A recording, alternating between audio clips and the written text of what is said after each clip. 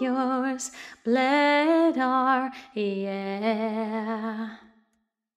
One happy birthday dot com.